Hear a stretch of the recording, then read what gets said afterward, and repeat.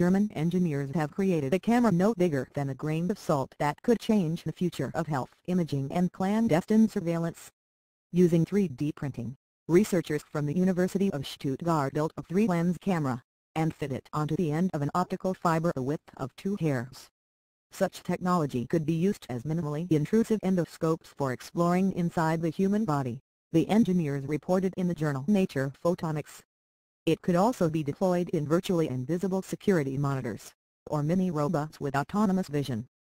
3D printing also known as additive manufacturing makes three-dimensional objects by depositing layer after layer of materials such as plastic, metal or ceramic. Due to manufacturing limitations, lenses cannot currently be made small enough for key uses in the medical field, said the team, which believe its 3D printing method may represent a paradigm shift. It took only a few hours to design, manufacture and test the tiny eye, which yielded high optical performances and tremendous compactness, the researchers reported. The compound lens is just 100 micrometers 0.1 millimeters or 0.004 inches wide, and 120 micrometers with its casing.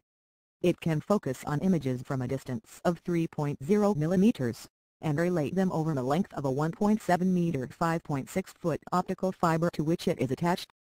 The imaging system fits comfortably inside the standard syringe needle, said the team, allowing for delivery into a human organ, or even the brain. Endoscopic applications will allow for non-invasive and non-destructive examination of small objects in the medical as well as the industrial sector, they wrote. The compound lens can also be printed onto image sensor other than optical fibers, such as those used in digital cameras.